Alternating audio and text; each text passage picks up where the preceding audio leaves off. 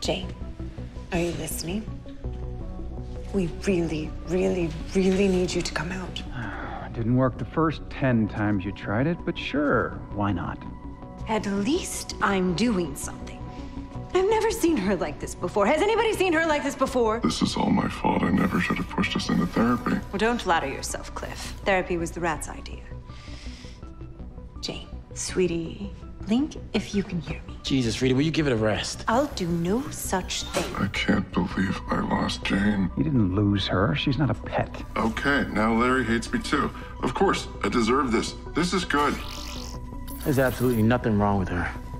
Her brain activity's off the charts, and yet, nothing. Jane's in there somewhere. So how do we pull her out? I don't know.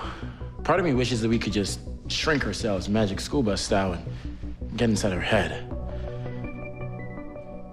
What? Oh, I'm just marveling at your embrace of the weird and utterly impossible.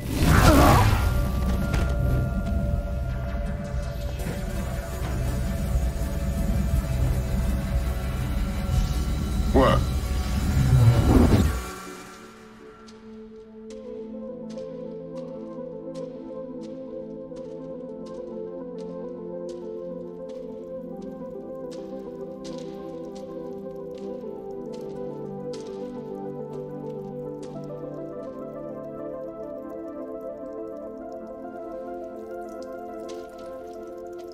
What